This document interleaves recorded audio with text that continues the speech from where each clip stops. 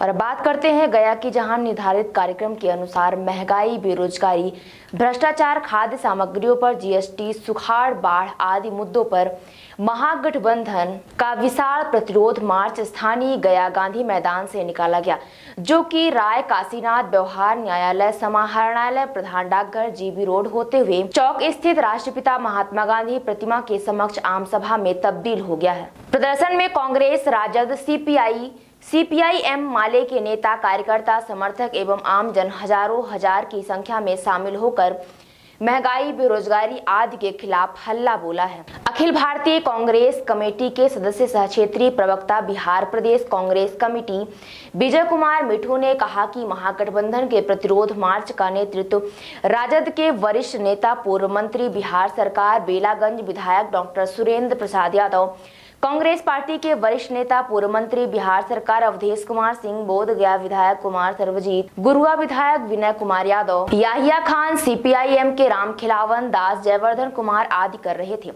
प्रतिरोध मार्च में कांग्रेस के मोहम्मद उमेर खां उर्फ़ टीका खां डॉक्टर शशि शेखर सिंह अमरेंद्र कुमार सिंह उर्फ़ मंटू, विद्या शर्मा, युगल किशोर सिंह, अमित कुमार उर्फ़ रिंकू सिंह, सरनजीत सिंह, ब्रजेश राय, मदीना खातून आदि शामिल थे। नेताओं ने आम सभा को संबोधित करते हुए कहा कि आज महँगाई, बेरोजगारी, खाद्य सामग्रियों पर जीएसटी, भ्रष्टाचार, सुखाड़, बाढ़ आदि मुद्दों पर हल्ला बोल से उमड़ा जन सैलाब से प्रमाणित होता है कि आमजन मोदी, नीतीश सरकार से त्राही त्राही कर रहे हैं।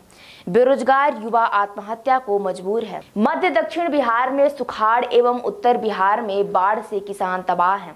नीतीश सरकार बिजली बिल माफ़ करने की जगह डीजल अनुदान का ढोंग रच रही है।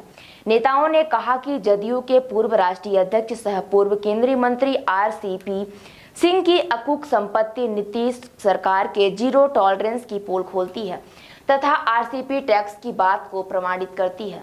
महागठबंधन एकजुट होकर मोदी नीतीश सरकार को खाड़ फेंकने का जो संखनाद किया है तथा इस आंदोलन में जिस प्रकार से आम जन का साथ मिला है उससे निश्चित है कि यह आंदोलन आगे भी तब तक जारी रहेगा जब तक आमजन को महँगाई से निजात नहीं मिल जाती है। आइए दिखाते हैं विराट 24 न्यूज़ के लिए गया से गजेंद्र कुमार की रिपोर्ट।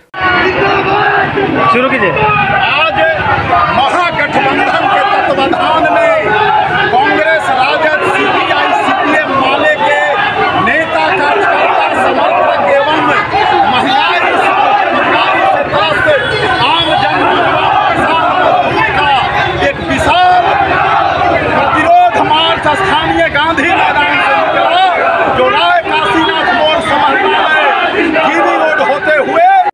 आज महागठबंधन के तत्वाधान में गया के स्थानीय गांधी मैदान से कांग्रेस राजद सीपीआई, सीपीएम, माले का विशाल प्रतिरोध मार्च, महँगाई और बेरोजगारी जी जीएसटी और सभी के खिलाफ निकला है, जो गया शहर के सभी मुख्य मार्गों से होते हुए जा रहा है, और ये सैलाब जो उमड़ा है महँगाई बेरोजगारी के खिलाफ, इस बात को प्रमाणित करता है कि महँगाई से आम जन त्राही त्राही कर रही है।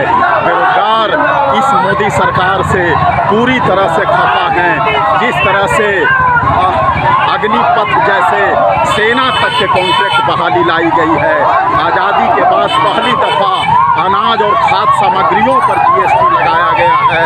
बाढ़ और सुखाड़ की स्थिति से बिहार तबाह है।